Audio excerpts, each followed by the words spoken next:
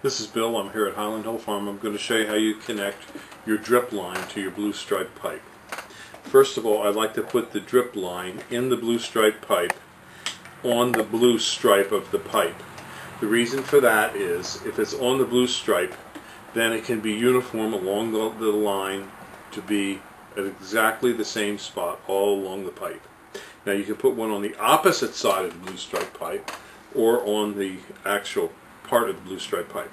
The way you put your hole in the blue stripe pipe is you take the pointed end of your sprayer and you take that and you just push that into the blue stripe pipe. Bingo, like that. Goes in very easily. It makes the hole. Then this nipple is inserted into the hole. It just pushes in.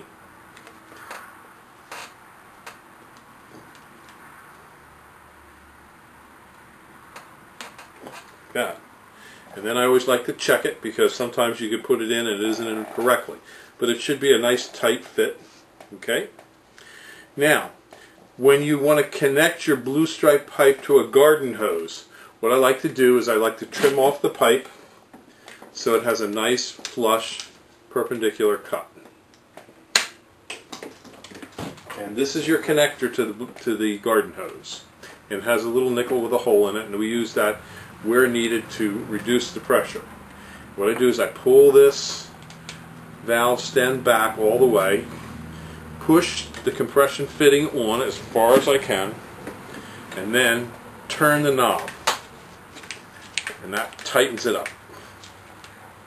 That son of a gun is on there. That can take quite a bit of pressure before it'll come off.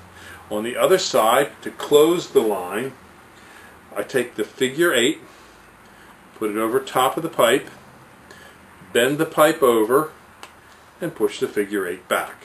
Now you have the garden hose attachment to your blue stripe pipe, your nipple ready to go, and your end.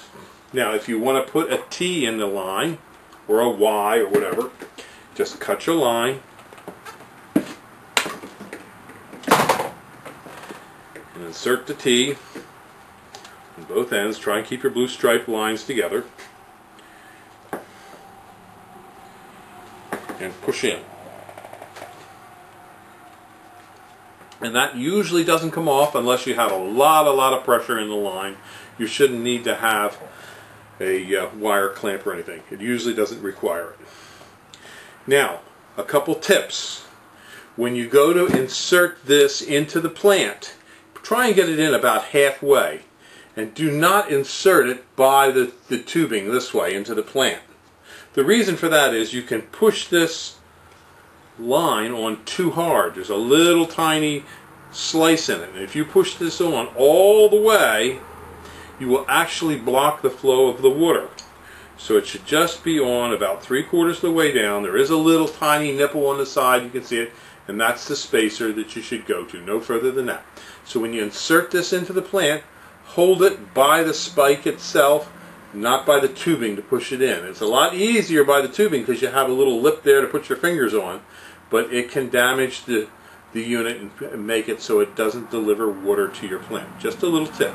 Now, if you don't want to use a particular line, say a tree dies or a shrub dies or it's overwatered, you can take this off, turn it around, and push that back on there will be no water flow from this end. This is the end that normally goes into the ground. But if you want to turn it off, you just reverse it. And again, don't push the spike in by the rubber tubing. Push it in by the spike. Thank you. Bye.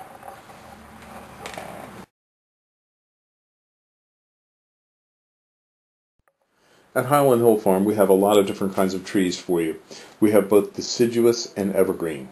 Some of the spruces that we have are like Colorado blue spruce, Norway spruce, white spruce, Serbian, Black Hill spruce, black spruce.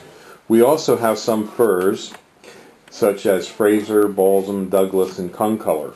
Most of these are in seedling or transplants. We do have larger trees such as white pine, Norway spruce. We also sell a whole range of arborvitaes in many different sizes, from transplants up to large trees. The trees that we sell are both bare root and balled and burlapped and potted. We have thousands of them that we grow. We also have southwestern white pine, and we are noted for our green giant arborvitaes and Leyland cypresses. We also have hemlocks up to 10 to 12 foot high, along with redwoods. We can also supply you with some bald cypress, larch, eastern red cedar. In the way of shrubs, we have arrowwood viburnums, bayberry, blackhaw viburnums, a whole range of viburnums, dogwoods, red, twig, silky dogwoods, elderberries. We also have forsythia, common lilacs, Japanese lilacs, Peking lilacs. We also have nannyberry, nine bark, and things such as Russian olive, which some people think are is invasive. But we do sell a wide range of trees and shrubs, including winterberry holly. So give us a call at 215 651 8329 as we do deliver and we deliver and plant.